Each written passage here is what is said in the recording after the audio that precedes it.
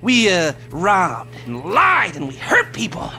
Pretty much lived a low-life kind of existence. But always dreaming of one thing, one thing only.